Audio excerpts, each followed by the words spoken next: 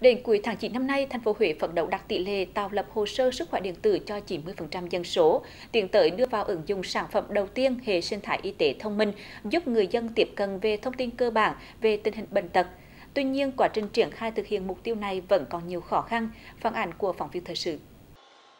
Đến thời điểm này, trạm y tế phường Phú Hoa, thành phố Huế tạo lập hồ sơ sức khỏe điện tử đạt trên 70% với 7.137 hồ sơ.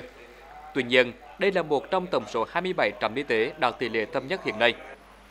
Tại buổi làm việc với ban điều hành hồ sơ sức khỏe điện tử Sở Y tế, nhiều vấn đề bất cập như trường hợp trùng hồ sơ do đối tượng có nhiều hơn một mã thẻ bảo hiểm y tế, trường hợp đại chuyển nhân khẩu ra khỏi địa bàn, việc thực hiện quản lý và theo dõi trẻ em dưới một tuổi trên phần mềm quản lý tiêm chủng chưa đồng bộ. Tới thời điểm này là nhập đã gần tới 70% rồi hồ sơ sức khỏe mà dựa vào đội ngũ cộng tác viên về nhà thông qua cái sự chỉ đạo của chuyên trách ờ, dân số. Rồi ngoài ra thì mình đôi lúc mình cũng ờ, nhờ người nhà là uh, dẫn những cái người mà ví dụ ở trong hộ gia đình á, nếu có thuận tới tiền á, thì tới để cho mình thăm hỏi những cái uh, những cái mục ở trong cái hồ sơ sức khỏe. Uh, tuy vậy là có nhiều người họ đi làm ăn từ sáng tới tối đôi lúc cái việc mà hẹn hoặc là gặp họ thì ờ, đôi lúc cũng khó khăn. Chủ yếu là dựa vào những cái quyển sổ họ khám bệnh ở chỗ khác. Ờ, cán bộ y tế thành phố chưa thực sự tập trung lắm liên quan đến tạo lập hồ sơ sức khỏe cho người dân. Ờ, thế cái đấy thì không phải là nhiều, cũng một số trạm thôi. Đa số thì cái trạm tập trung cũng tốt. Tuy nhiên cái khó khăn lớn nhất là ở thành phố là cái số lượng dân số của thành phố đông chiếm đến ờ, hơn 1 phần 3 dân số của tỉnh Thừa Thiên Huế. Chính vì vậy mà ờ, khi tạo lập hồ sơ sức khỏe nó số lượng lớn, cán bộ nó vào không, không kịp. Thứ hai nữa là gì? Hiện nay cái tỷ lệ mà người dân có bảo hiểm y tế của thành phố đăng ký ở thành phố nhưng đi khám tại các cơ sở của thành phố mới chiếm từ 50 đến 52% thôi.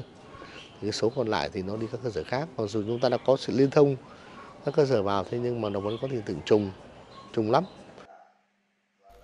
Đến thời điểm này, thành phố Huế đã khởi tạo thành công 100% hồ sơ sức khỏe. Tổng dân số thành phố Huế là 358.000 dân, chiếm 1 phần 3 dân số toàn tỉnh. Việc tạo lập hồ sơ sức khỏe điện tử vẫn còn vướng nhiều khó khăn do có nhiều trường hợp một người dân có đến hai thẻ bảo hiểm y tế, cắt và chuyển hộ khẩu dẫn đến tình trạng biến động dân cư. Điều này dẫn đến một thực tế có sự chênh lệch trong việc khởi tạo hồ sơ sức khỏe điện tử trong khi đó, mục tiêu đề ra hiện nay, tháng 6 năm 2019, phấn đấu tỷ lệ tạo lập hồ sơ sức khỏe điện tử đạt 80% và đạt 90% vào tháng 9 năm 2019. Nhằm hướng tới cuối năm 2019, đưa vào ứng dụng sản phẩm đầu tiên hệ sinh thái y tế thông minh, giúp người dân tiếp cận về thông tin cơ bản tình hình bệnh tật bệnh nhân.